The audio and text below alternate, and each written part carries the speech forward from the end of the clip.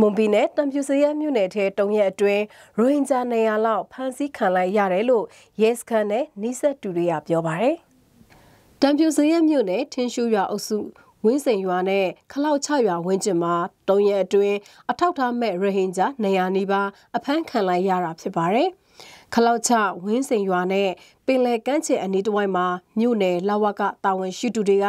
မဆလ24ရက်နေ့မှာ145ယောက်25ရက်နေ့မှာ31ယောက်26ရက်နေ့မှာ14ယောက်ကိုသူတို့ပုံအောင်နေတဲ့ရာဘာချန်တွေကနေဖမ်းမိခဲ့တာဖြစ်ပြီးတံပြူစရဲမြို့နယ်အာကစားကွင်းမှာထိမ့်သိမ်းစစ်ဆေးနေတယ်လို့ရက်ကွက်အုပ်ချုပ်ရေးမှူးတယောက်ကဆိုပါတယ်။